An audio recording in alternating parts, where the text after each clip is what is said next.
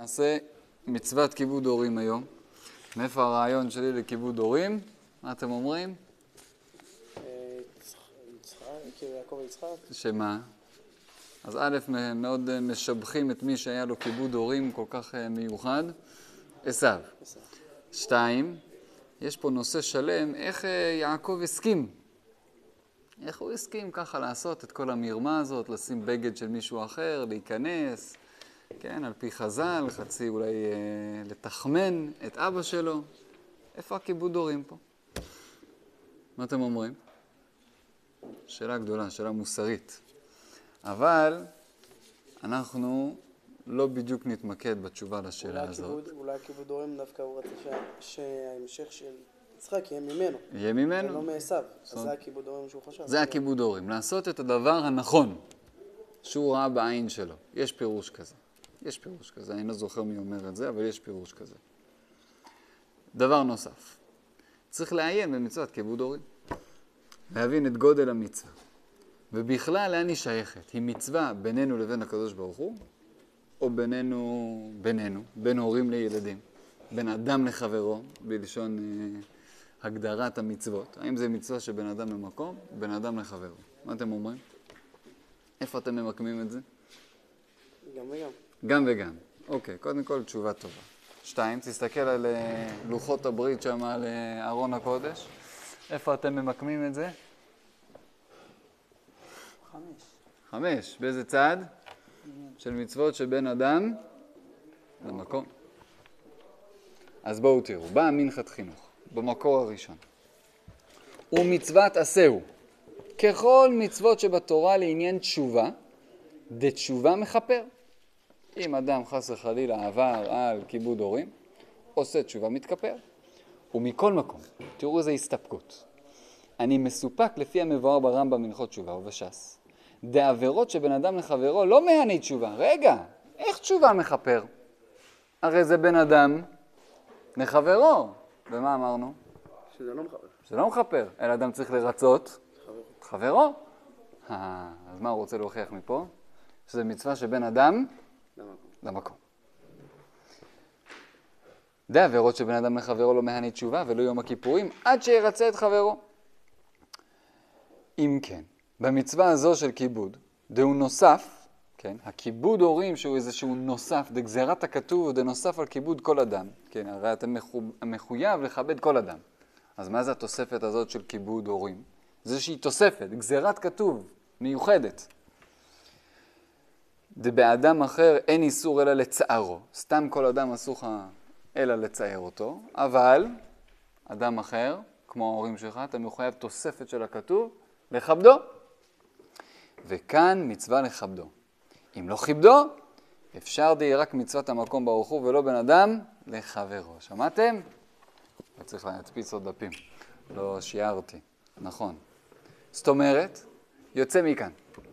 אם יש איזו תוספת שצריך לכבד, יש פה איזו גזירת כתוב, איזו מצווה מיוחדת בתוך מצוות כיבוד הורים. אומר המנחת חינוך, זה הופך את זה להיות מצוות אדם, לא לחברו, אלא מצווה בין אדם למקום. ומכאן, זה הסיבה שתשובה יכולה לכפר.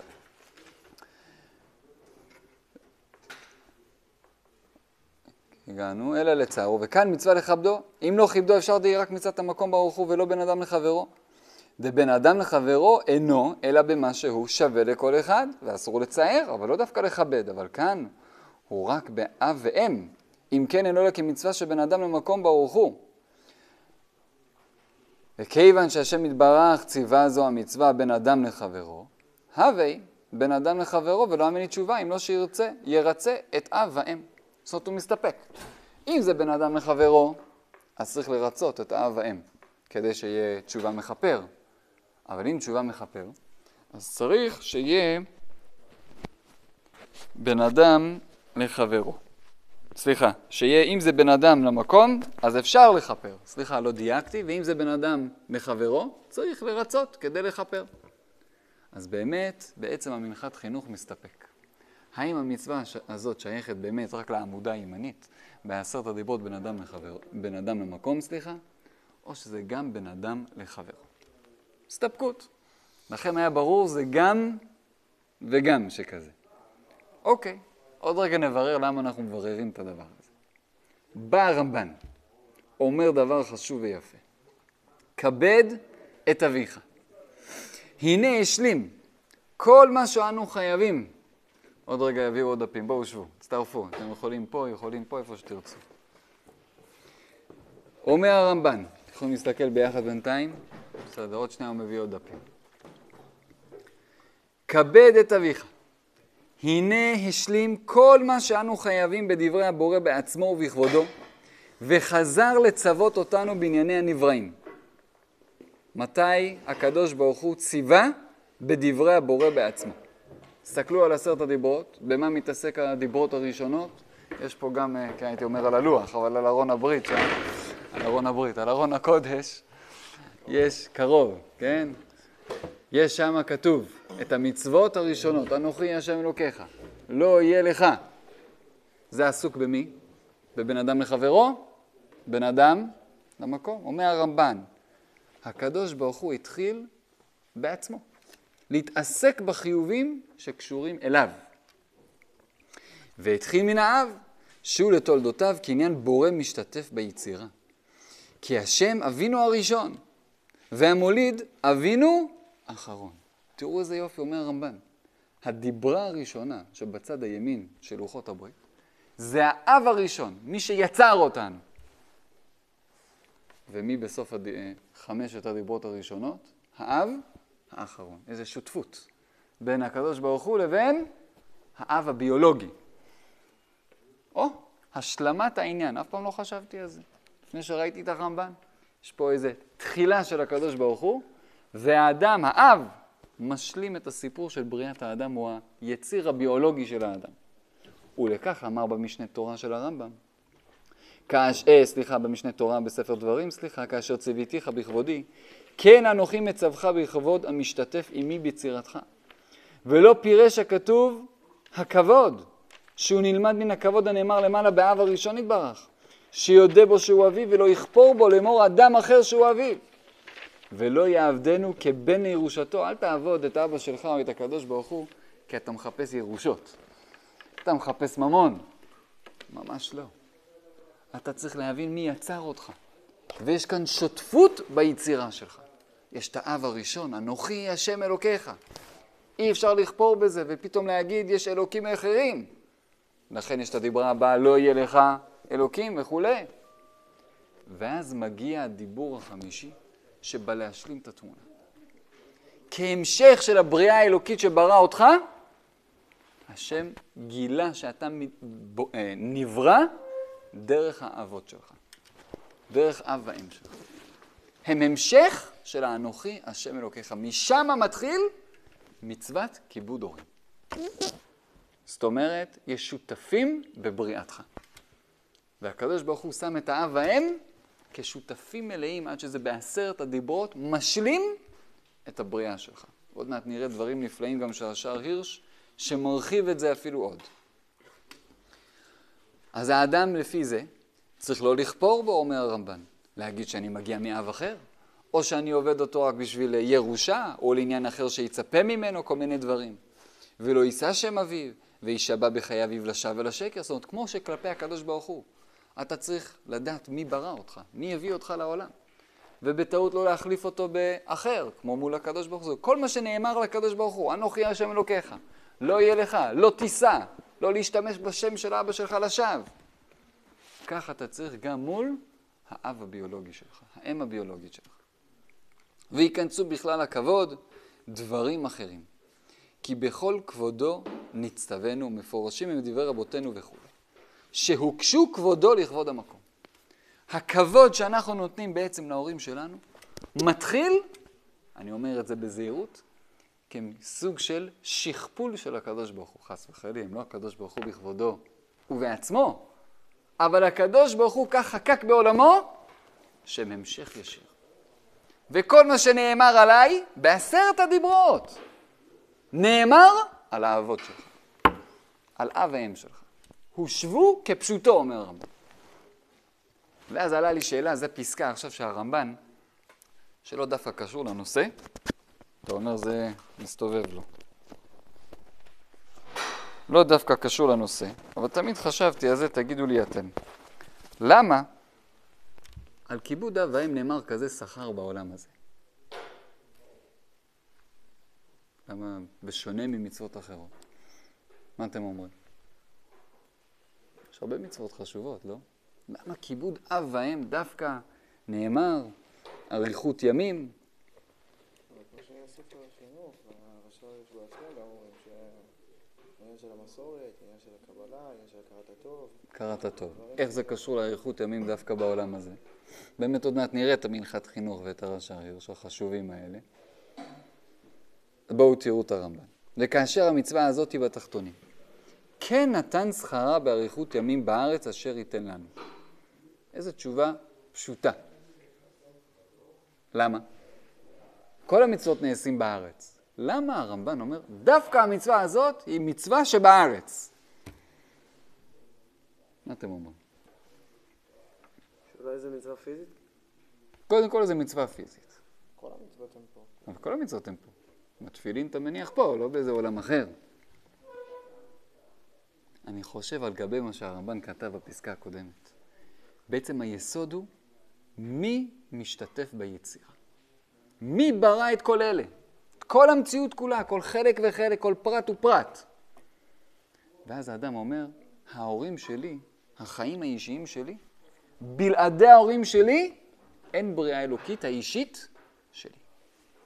כל הבריאה האלוקית, כל מה שאני חווה בחיים שלי, הכל מתחיל שההורים שלי אפשרו את זה. בראו את זה יחד עם הקדוש ברוך הוא. ולכן כל מה שעובר עליי. בעולם הזה, התחתון, כל השגחה, כל מפגש, כל פרט, מתחיל מהאב והאם ומהקדוש ברוך הוא כמובן. ולכן, כשאתה חי חיים אה, עם חיבור כל כך גדול לאב והאם ולקדוש ברוך הוא, מתוך היסוד הזה, אתה מחובר טוב טוב לחיים האלה פה. מבין מאיפה הכל התחיל.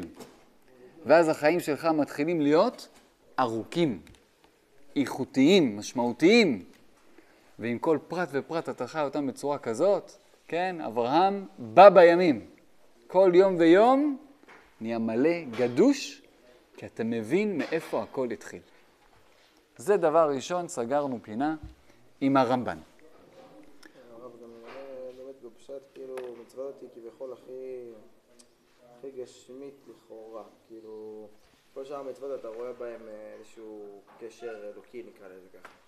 זאת מצווה שאתה יכול, אפילו אתה יכול לנתק אותה מה- מה- מהעניין האלוקי, אתה אומר, זה, זה הכי גשמי בעולם, לכבד את ההורים. זה לא כמו תפילין. תפילין זה משהו, פעולה גשמית, שהיא משליכה רוחנית, ציצית, אותו דבר, אה, פתילת לולב. דברים שהם כאילו גשמיים, שאתה עושה אותם נטו בשביל המצווה כביכול.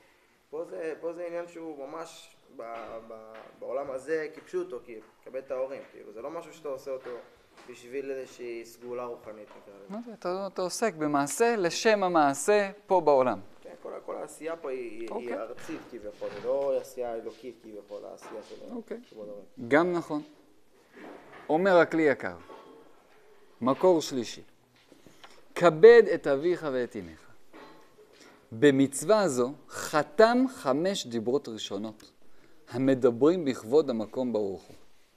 כי מטעם זה נאמר בכולם, השם אלוקיך. אבל בשאר חמשת דיברות לא הזכיר השם. בכל חמשת דיברות האחרונות המדברים בדברים שבין אדם לחברו. זאת אומרת, בהמשך לקו של הרמב"ן, גם הכלי יקר, כבד את אביך ואת אמך, הוא בין אדם למקום או בין אדם לחברו? מה אתם אומרים? בין אדם למקום. ומצוות כיבוד אב ואם. אף על פי שהוא בין אדם לחברו, זאת אומרת, הביצוע של המצווה הזאת הוא בין אדם לחברו, בין בני אדם. מכל מקום מצווה זו נוגעת גם בכבוד המקום ברוך הוא, לפי ששלושה שותפים באדם. הקדוש ברוך הוא, ואבי ואמו, ואם תכבד אב ואם בעבור שמהם נוצר החומר, והגוף הקלה והבלה, קל וחומר בנו של קל וחומר שתכבד את אביך שבשמיים, אשר נתן בך הנשמה החלק המעולה הקיים לנצח. יש פה שותפות מלאה. יש את הגוף ויש את הנשמה. ואולי זה מחבר למה שאתה אמרת קודם. אתה מכבד את הגוף את ההורים שלך. זה משהו מאוד חומרי, שאפשרו לך חיים חומריים עלי אדמות. אם היו בוחרים אחרת, זה לא היה. והקדוש ברוך הוא הנותן מהות, נשמה. אז אם אתה מכבד את הגוף, קל וחומר שאתה צריך לכבד את הנשמה.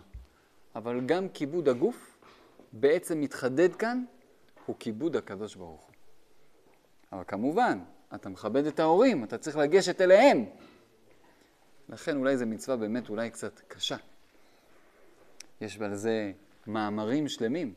כשאדם הולך ונגמל, כן, אני אתן לכם אה, דבר תורה קטן קשור לפרשה הקודמת, שמחדד את הדברים. אמרתי את זה לחברים פה בצפת כבר, אבל זה כל כך מתחבר לי לכאן. כי כשהאדם גדל קצת, הוא עלול לשכוח. בחובות הלבבות, בספר, שער, בפרק שער הביטחון, הוא מתאר שם איך אדם מתינוק הולך ושוכח את ההורים שלו, שוכח מאיפה הוא מגיע. הוא הולך ועלול לחשוב שהכל בכוחו ובעוצם ידו. והוא אומר, בעל הביטחון עושה תהליך הפוך. אם אתה תתבונן באמת, אתה רק תראה איך באמת הכל רק תלוי בקדוש ברוך הוא. זאת אומרת, אתה יכול או לקחת את זה לשלילה או לחיוב. אתה או יכול ללכת ורק להתרחק ולחשוב הכל כוחי ועוצם ידי, או הפוך, אתה יכול ללכת להתבונן ולראות כמה אתה זקוק לקדוש ברוך הוא על כל צעד ושעל שלך. ומה שאמרתי לחברים מצפת, זה שיש שאלה גדולה, למה רבקה הגיעה על גמל? להיפגש עם יצחק. אז הזוהר מביא שזה בשם, משם גמול, גמל גמול. רבקה גדלה במקום שכולם חשבו שהם גמולים, לא צריכים את הקדוש ברוך הוא. הכל בכוחות עצמם. הגיע ליצחק, שככה עומד בשדה, תיקן תפילת מנחה, ורואה שיש חיים אחרים. בדיוק הפוכים. שאתה מבין שהכל בידי הקדוש ברוך הוא. כל מה שזז. עם המינקת, נכון? וזה מתחדד כאן. שבעצם האדם בעצם יוצא לפי הרמב"ן והכלי יקר, שאדם מכבד את ההורים שלו, הוא מבין את היסוד הזה. זה לא נגמר ומתחיל רק אצל הקדוש ברוך הוא. הקדוש ברוך הוא עשה שותפים בעולם. והבריאה, ההשגחה, כל החיים שלך, כל ההוויה שלך מתחילה מהקדוש ברוך הוא. אבל השותף בהם זה אב ואם.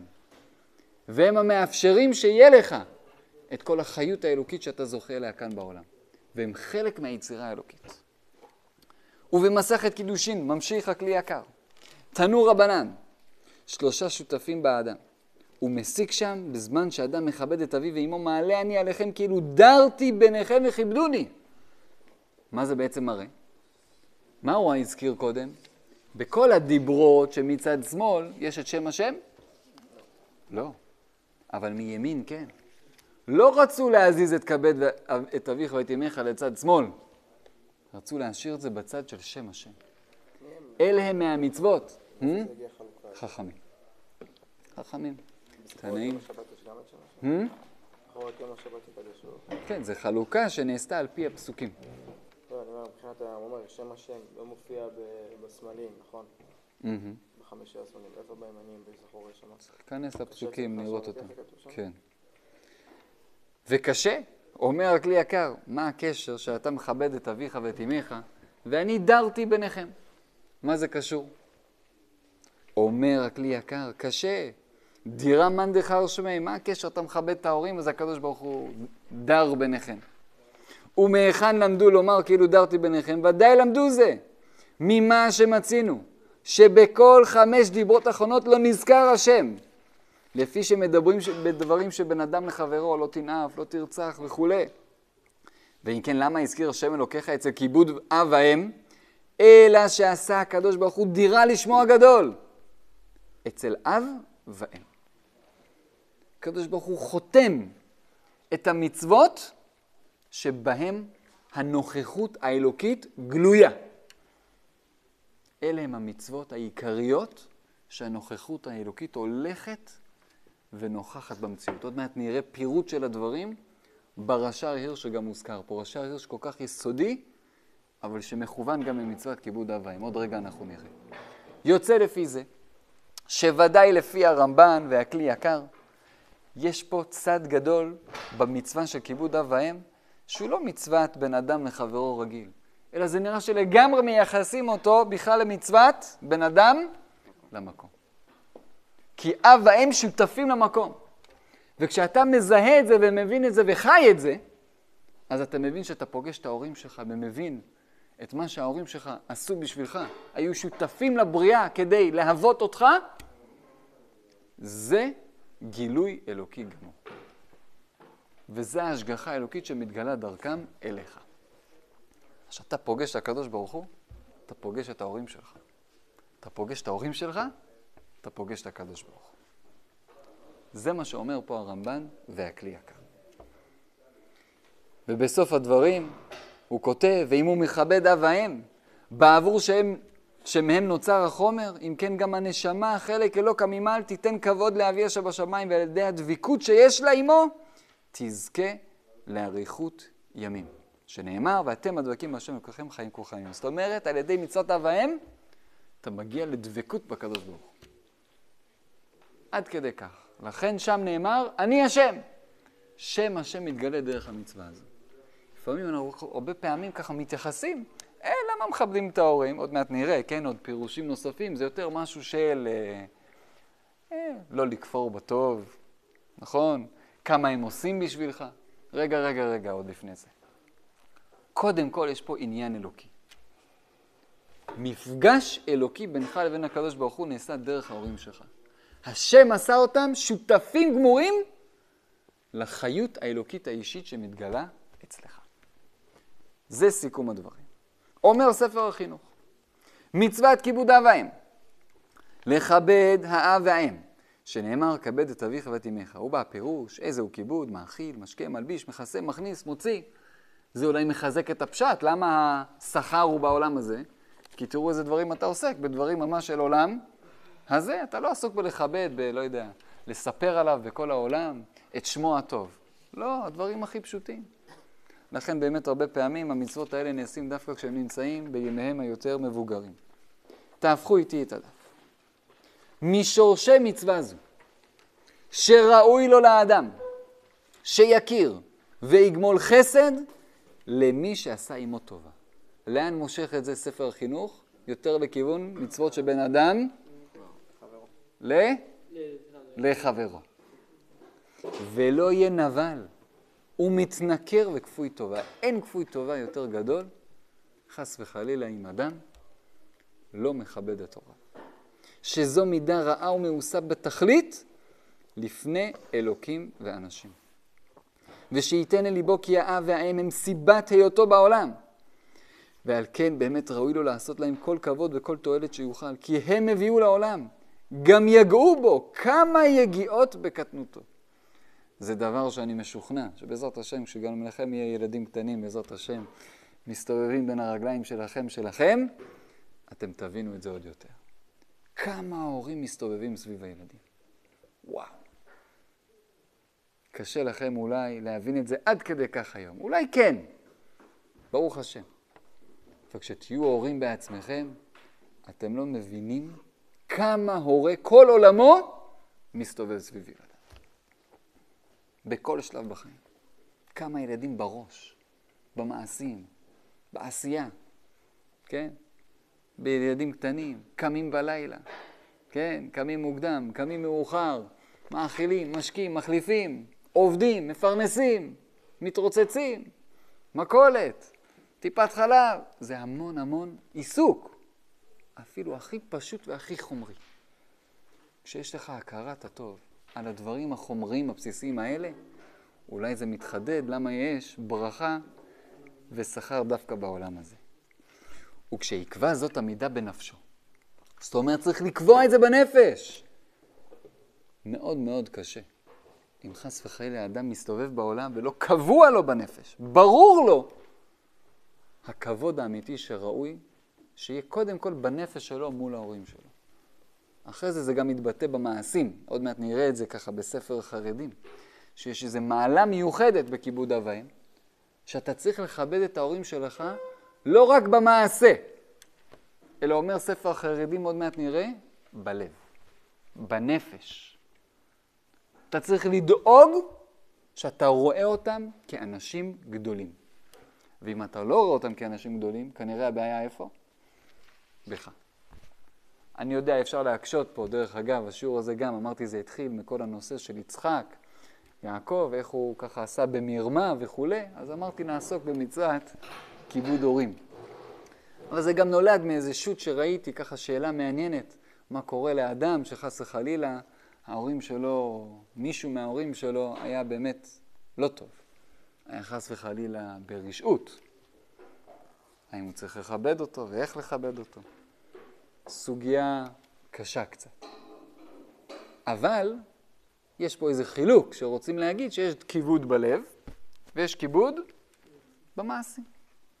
ויכול להיות שאת הכיבוד במעשה אתה מחויב לעשות את מה שאתה יכול לעשות. אבל לא חייבים, לא, אי אפשר להכריח אותך שתרגיש ככה בלב. אבל זו סוגיה שלמה. זה נולד קצת משם גם השיעור הזה. אז היה חשוב לי שנבין.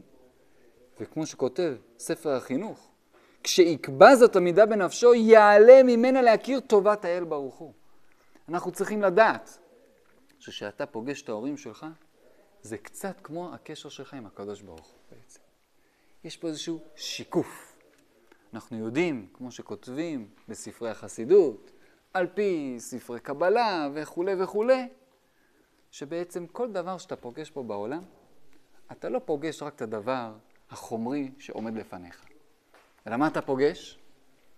את הקדוש ברוך הוא המדבר אליך דרך אותו דבר.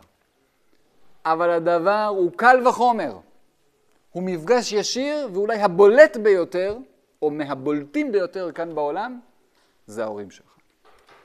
היחס, הקשר שאתה בונה עם ההורים, הוא איזשהו אה, שיקוף על איפה נמצא הקשר שלך עם הקדוש ברוך הוא. ואם אתה קצת כפוי טובה מול ההורים שלך, לא מן הנמנע שאתה גם קצת כפוי טובה לקדוש ברוך הוא. ואם אתה רואה את ההורים שלך קצת בקטנות, יש סיכוי שאתה עלול בטעות לראות את הקדוש ברוך הוא גם קצת בקטנות. ולמה ההורים עשו לי ככה? אז אתה עלול גם להגיד על הקדוש ברוך הוא, למה השם עשה לי ככה? זה לא מחייב, אבל ספר החינוך מראה שזה לא סתם אני השם. ההורים הם שותפים. השם שם את ההורים להיות איזושהי נוכחות קרובה אלוקית אליך. הם הנציגים של הקדוש ברוך הוא בשבילך. אב האם שלך. זה מה שיוצא פה. והקשר הנפשי והמידה בנפשו יתעלה ממנו להכיר טובת האל ברוך הוא, הדרך שבה אתה בונה יחס בריא ונכון מול ההורים, זה היחס הנכון שאתה בונה לאט לאט מול הקדוש ברוך הוא, שהוא סיבתו וסיבת כל אבותיו עד אדם הראשון, ושהוציאו לאוויר העולם וסיפק צרכיו כל ימיו, והעמידו על מתכונתו ושלמות איבריו, ונתן בו נפש יודעת ומשכלת, אם אדם מתבונן, מה השם עושה? כדי שנוכל ללכת, נוכל לנשום. איך אני זוכר?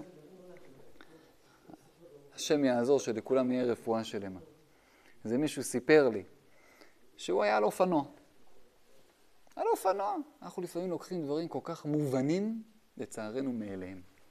ולא יודעים שיש בורא שדואג שהכל יתפקד כראוי. זה נס. נס. כל רגע ורגע מהחיים. נסע על אופנוע. עשה פקקים, זה, עקף משוליים. היה איזה רכב אחד, לא יודע, קצת סטה ימינה, השול נהיה מאוד מאוד צר. הוא חדר פנימה, מה קרה? היה בורג בולט מהמעקה. בורג קטן. ברגל. מאז הרגל לא מתפקדת כמו שצריך. משהו קטן. עכשיו כל החיים שלו, ההליכה שלו כבר לא אותו. מה אתם אומרים? אני לא אומר עליו. רגע לפני זה, כמה הוא העריך את ההליכה שלו? את הרגל הבריאה שלו. אז חס וחלילה, אני לא חושב שאנחנו צריכים חס וחלילה לעבור או לחטוף כל מיני דברים כדי לדעת. אנחנו לא יודעים חשבונות שמיים. לצערי, פשוט בטעות, כשפתאום אה, מזיזים לך את הגבינה, כשפתאום משהו משתנה, או, אתה פתאום מודה ומבין כל מה שהיה לך. זה מבט חיים שמאוד מאוד מתפתח באישיות בקשרים שבין הורים וילדים. והוא בעצם מבט לחיים מאוד מאוד יסודי, מאוד מאוד מהותי, מאוד חשוב. וכשאדם מתבונן על זה, הוא אומר, וואו, כשאני באמת מתבונן על זה דרך ההורים שלי, כמה אני מעריך את ההורים, ומבין מה עושים בשבילי, ועשו בשבילי, ויעשו בשבילי, ואני כולי כאן בזכותם עם המרד שהם נתנו בי, ואם היה חסר שם משהו. וואו, איפה הייתי? ופתאום אתה מגלה שאם ככה אתה בונה אצל ההורים, ככה אתה חושב על הקדוש ברוך. זה מאוד משליך אחד על השני. ונתן בו נפש יודעת ומשכלת. איזה זכות שאתה יכול לחשוב.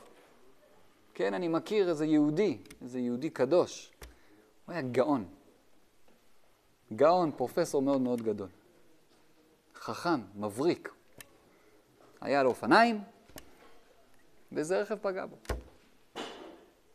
נהיה צמח, חצי צמח. בהתחלה קשיים ללכת וזה, הראש לא מתפקד כמו שצריך. בדיוק לצערי הייתי שבת קודמת אצל האחי, גם סיפור דומה. איזה מישהו מהקהילה עושה כושר, מדריך כושר, פתאום יום אחד התקף לב. כבר מדבר כמו ילד קטן, מבין כמו ילד קטן. היה צריך להגיד לאשתו שהיא שכחה את האוכל מהעבודה. הוא לא יכול לדבר. לפעמים הוא מצליח לדבר יותר, לדבר פחות. אז איך הוא אמר לאשתו שהיא שכחה את האוכל? לקח את הוואטסאפ, צילם, שלח לה. אתם מבינים? מישהו פה מעריך את הדיבור שלו? וואו. זה קשור ללהבין מאין באת. מי ברא את כל אלה? כמה מתנה וזכות יש על כל דבר שיש לנו. וזה בעצם מתחיל ממצוות כיבוד אביי. זה לא מספיק בעצם אומר הדיברה הראשונה, לדעת שיש את הקדוש ברוך הוא, אנוכי השם אלוקיך. אלא דעת, אתה יודע מה עושים בשבילך כל רגע ורגע? כדי שתוכל להתקיים, והשותפים לדבר הזה כדי שתוכל לקיים, אתה יודע מי זה? ההורים. השם עשה את הפוש הראשון ושלח שותפים לפוש הנוסף. שהחיות האלוקית יתגלה אצלך דרך ההורים. שהם מזיעים ועמלים ורודפים, שתוכל לנשום, שתוכל להתקיים. כך השם חקק בעולמו. השם שלח את ההורים להיות המשגיחים הפרטיים שלך, המהווים הפרטיים שלך. ואם אתה מבין שמשם הכל מגיע, ומשם כל הכוח והחיות שלך, וואו, זה כבר מקבע בנפש, וואו, יחס אחר לגמרי אולי להורים. מגיע רש"י הירש. יש לנו עוד כמה דקות. עושה פה מהלך גדול שחשוב לי שנראה. אם לא ראיתם פעם את הרש"י הירש הזה, חשוב להיפגש איתו. אומר כיוון נוסף על החשיבות של כיבוד אב ואם. הדיבור הראשון, אנוכי, דורש מאיתנו דעת השם, והכרה בלב שהוא אלוקינו. פשט, לדעת שהשם הוא האלוקים. אין עוד מלבדו. השני לא יהיה, מבטא אותן בתוצאותיהן השליליות. מה הכוונה? לא בטעות ללכת לכיוונים אחרים, נכון? לא להפוך דברים אחרים לאל. טלפון, ממון, כבוד, לא יודע, רכוש, לא יודע, כל מיני דברים לאליליות. במקום הקדוש ברוך הוא. השלישי, לא תישא. מכריז עליהם כיסוד מוסד של יחסים בין אדם לחברו. מה הכוונה? מה הפשט? איך אתם מבינים את זה? לא תישא זה דיבורים, לא להשתמש בשם השם שלא לצורך, בלי כוונה. איפה רוב הדיבורים שלך? בין אדם למקום או בין אדם לחברו? זאת אומרת, שמור שכל פעם שאתה מדבר, אתה לא תכריז ותשתמש בשם השם בטעות, סתם לצרכים לא ישרים וטובים שבאמת מבטאים את הקדוש ברוך הוא. אלא שמור שכשאתה מכריז ומשתמש בדיבור שלך, זה דברים מוצקים ונכונים. בסדר? הרביעי, זכור. מטיל עלינו לתת ביטוי במעשה. ומה זה ביטוי במעשה? הסבר מעניין אומר הרש"ר. איך אתה מבטא למעשה שאתה שייך לקדוש ברוך הוא? גם המהר"ל ככה בנתיב התורה, בתחילת נתיב התורה, מדבר על הדברים שאנחנו לומדים ככה בערבים. מעניין? כניעה. אם אדם מסוגל בחיים שלו לעשות ויתורים, או לפעמים להיות כנוע, מה זאת אומרת? לפעמים אתה מוותר על משהו שחשוב לך לטובת השם יתברך. אתה מוותר על יום בשבוע. מה? אבל אני אוהב אה, טרקטורונים שם בהרי הצפון. אבל זה בדיוק היום המתאים. מתי אני אעשה אם לא אז? או כל דבר אחר. לא, לא, לא. היום הזה כנוע. הוא שייך לקדוש? וואו, אתה מסוגל לוותר על יום בשבוע בשביל הקדוש ברוך הוא? זה אומר שבעולם המעשה אתה מבין מי ברא את כל אלה. זה כניעה. עיקר יסוד דעת השם מהכרתנו בו יציאת מצרים. הדבר הזה גם מתבטא ביציאת מצרים, לכן בשבת הוא זכר ליציאת מצרים, עוד רגע נבין. ודבר זה מתפרש מיד בדיבור אנוכי, על ידי התוספת אשר הוצאתיך, ושוב בפרשת בית חנן, כפי שראינו זה עתה, בהדגשת טעם דיבור זכור.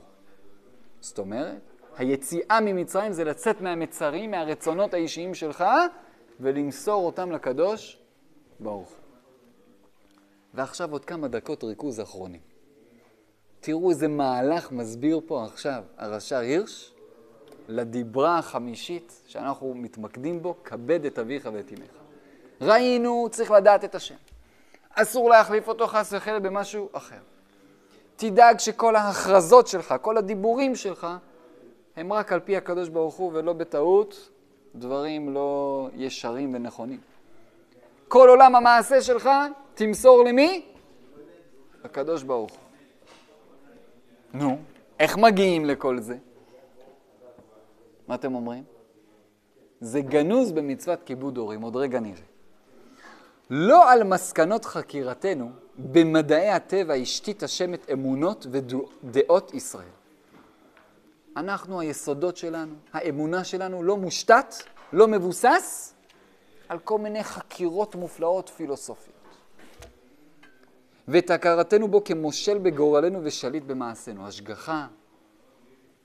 כי אם על ניסיונותיו ההיסטוריים של עמנו. יש לנו היסטוריה משותפת עם הקדוש ברוך הוא. פגשנו בכל דור, עוד פעם, ועוד פעם, ועוד פעם, את הקדוש ברוך הוא. שבאמצעותה מתגלה השם לעינינו וגילה לנו את רצונו. אנחנו לא בונים את האמונה שלנו רק על השכל, על ההיגיון, אלא על ידי המפגש החי בין עם ישראל לקדוש ברוך הוא לאורך כל הדורות. כשהמפגש הראשוני הראשון היה מתי? יציאת מצרים. רוב המצוות של התורה שלנו הם זכר ליציאת, על זה זה מושתת. לשווא דיברו השמיים והארץ על לב בני אדם, ולא עוד, אלא מאמרם נתפרש שלא כהלכה בדרך האמונות האליליות, ורק התגלויות השם בהיסטוריה לעיני עם ישראל השיבו אל לב האדם את דעת ייחוד השם מאחדותו. וגילו את אוזנו להבין את הליכות הטבע וההיסטוריה על יסוד ייחוד השם מאחדותו. יציאת מצרים ומתן תורה, שתי מפגשים חיים עם הקדוש ברוך הוא, הם שתי עובדות היסוד של עם ישראל. שעליהן תיכון כניעתנו לפני השם כמושל ושליט בגורלנו וחיינו. לא סתם אנחנו כנועים לקדוש ברוך הוא. פגשנו אותו, חווינו אותו. אז והיום. והנה שתי עובדות אלה, עובדות היסטוריות הן, וואי, על מה אתה מדבר? אתה יודע מתי זה קרה? לפני אלפי שנה, 3,500 שנה, על זה אתה מדבר? מה, אתה מיושן? ואנו יודעים אותן ומכירים בהן כאמיתות היסטוריות. אז מה נעשה? איך עושים שזה חי היום? מה עושה את זה חי היום? הרי הכל מושתת על זה. יש הרבה אנשים שאולי הם יותר, יותר דתיים, פחות דתיים, מסורתיים יותר, מסורתיים פחות, יהודים יותר, יהודים פחות. אחד המצוות שמאוד קשה לאנשים לוותר עליהן, הוא מה? אה? ברית מילה גם, נכון, זה אחד. אחד נוסף, אה? שבת. ומה בשבת? קידוש. קידוש יום שישי זה איזשהו קודש קודשים. מה מיוחד בקידוש? שחשוב להורים לעשות את זה יחד עם הילדים. ומזכירים שם את השבת, שהוא זכר ליציאת מצרים. והוא העדות שהשם ברא את העולם, וכולי. אולם הערובה היחידה, לא סתם הבאתי את הדוגמה הזו, עוד רגע תבינו. אולם הערובה היחידה לאמיתותן היא המסורת. ויסודה של מסורת אינו אלא על ידי מסירתה הנאמנה לבנים מידי האבות, וקבלתה ברצון בידי הבנים מידי האבות. אין דבר שמנכיח את הקשר החי בינינו ובין הקדוש ברוך הוא, כמו המסורת בין אב לבן. מדור דור. זה גם צד של מצוות כיבוד הורים. אתה פוגש את ההורים, אתה פוגש את יציאת מצרים. פוגש את ההורים, מתן תורה. פוגש את ההורים, את כל מסורת עם ישראל. לכן הרבה פעמים היה לי ראש ישיבה, שהרבה אמר, שלפעמים יש הרבה אנשים שעוברים עליות, ירידות בעולם הרוחני שלהם. ואם הם בתקופה של ירידה נגיד, הוא זיהה שהרבה פעמים פתאום חוזרים אליו הרבה אנשים באיזה שלב? כשפתאום מה יש להם? ילדים. ופתאום מרגישים, רגע, רגע, רגע, אני הולך לנתק פה רצף של רוחניות? רצף של מסורת? אני חייב להבין למה עושים תפילין, למה עושים ציצית, למה עושים קידוש. אני חייב לעשות קידוש לילדים שלי. למה? מה הוא מרגיש? הוא מרגיש את השרשרת הזאת. השרשרת הזו היא מה שהופך את משהו היסטורי. הו. זה לא היסטוריה. זה קורה כאן ועכשיו. כל פעם מחדש. כי דברים המועברים בצורה כזו מאב לבן, הוא מושרש. אם לא היה מפגש חי כמו שהיה, לא היה אפשר להעביר את זה מאב לבן. דברים שלא קרו, או לא אמיתיים, או לא מפגשים ישירים עם הקדוש ברוך הוא, לא עוברים במסורת, כמו מה שעובר בעם ישראל. והכיבוד אב ואם הוא עוד חוליה בשרשרת הזו. על כן נת... לא נתקיימו לאורך ימים יסודות הבניין הגדול שיסד השם בישראל, אלא על המשמעת העיונית והמעשית של בנים כלפי אבות ואימהות. אתה מכבד, אתה רוצה לשמוע, אתה שואל את הסבא, אתה שואל את הסבתא. איך קיימו אצלכם פסח? מה היה אצלכם? איזה מנהגים מיוחדים יש אצלנו? איזה סיפורים תורניים, רוחניים, משפחתיים, שקשורים למסורת ישראל? מידי ההורים מקבל הילד את מסורת התעודה הישראלית המעוצבת בדעת. אתה מקבל משהו מבוסס, בנוי, ששנים הולך עם עם ישראל. אב לבן, אב לבן. אני קופץ רגע לספר חרדי. אז ראינו שהרמב"ן והכלי יקר, חשוב להם כל כך להדגיש שזו מצווה מיוחדת שמביאה להשראת שכינה. מביאה לגילוי השם. בין אדם למקום, לא רק בין אדם לחברו. מגיע ספר החינוך, בין אדם לחברו, זה הבן אדם לחברו. כשאתה מקיים את הדבר הזה, אתה בונה את הקשר הכי יסודי ומהותי בינך לבין הקדוש ברוך הוא. בהבנה שההורים שלך הם השלוחים. להיות הפנים של הקדוש ברוך הוא בשבילך. הם המבצעים הישירים של הקדוש ברוך הוא לכל מה שאתה צריך. מגיע הרש"ר הירש, המסורת היהודית, המפגש החי בינינו לבין הקדוש ברוך הוא, עובר בעם ישראל, בקשר הזה שבין הורים וילדים. מגיע ספר החרדים, ואומר דבר גדול ומעניין. כבד את אביך ואת אמך, מצינו כבוד בלב. אני אגיד את זה במילים שלי. כשאתה מבין מה עומד פתאום לפניך במצוות כיבוד הורים, אז אתה לא, אתה צריך כוס מים, אתה צריך, קח. אתה בעצם מבין למי אתה ניגש. כשאתה ניגש פתאום לאבא, או ניגש לאימא, וואו, אתה יודע למה אתה ניגש? אתה יודע למה אתה ניגש? וכשאתה באמת מבין מהותית, אמיתית, מה עומד לפניך, אז הכבוד לא מתחיל רק בזה שאתה יודע לעזור פיזית. הכבוד מתחיל הרבה לפני זה, בלב, בעמדה הנפשית שלך מול ההורים שלך. ואז ממילא כל השאר יגיע. זה בעצם התוספת שאומר ספר החרדים. בסדר? שאלות? יפה מאוד, חזקים וברוכים.